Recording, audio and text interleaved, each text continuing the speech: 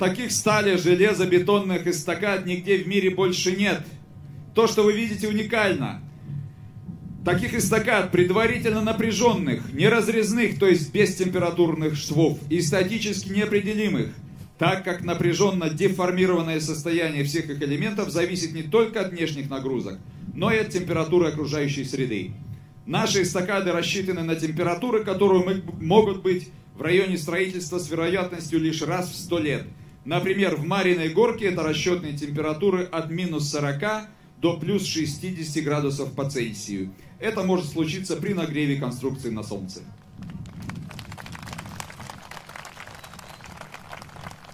Помимо этого, наши эстакады не дают эффекта экрана.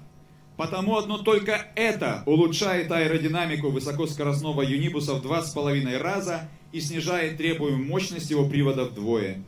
Эстакада имеет настолько низкую материалоемкость, что, например, двухпутная рельсо-струнная путевая структура провисающего типа с пролетами в 3 километра может быть построена из такого количества стали, которое требуется для изготовления одного единственного железнодорожного рельса R65 такой же длины.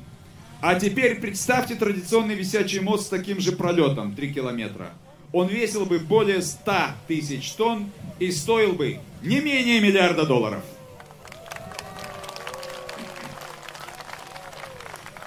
А еще в наши инновационные эстакады при необходимости зашиваются оптоволоконные линии связи, линии электропередач, продуктопроводы, а на опорах размещаются ветряные и солнечные электростанции. Рельсострунная эстакада для высокоскоростных юнибусов вообще уникальна.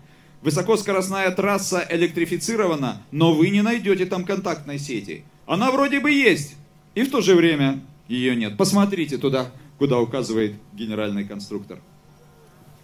Дело в том, что контактной сетью являются сами рельсы, а токосъем осуществляют катящиеся по рельсам стальные колеса, слева и справа. Поэтому левая и правая фермы электроизолированы не только друг от друга, но и от опор, в том числе от анкерных. Нам пришлось разработать специальные силовые электроизоляторы для анкерных опор, выдерживающие горизонтальную нагрузку в тысячу тонн, было не просто решить эту проблему, но Юницкому это удалось.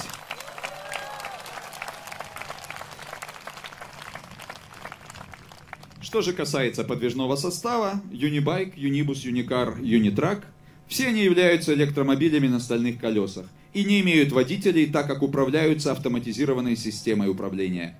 Все они только скоростные и высокоскоростные и имеют уникальную аэродинамику и минимальные потери энергии на движение, в том числе благодаря специальным мотор-колесам, которые мы не только сами спроектировали, но и производим на нашем же производстве.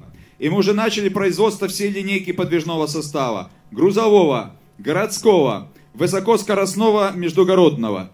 Также освоено производство металлоконструкций и композиционных узлов для эстакад – анкерных и опорных узлов, элементов рельсострунных ферм, оборудования для транспортной инфраструктуры и многое другое.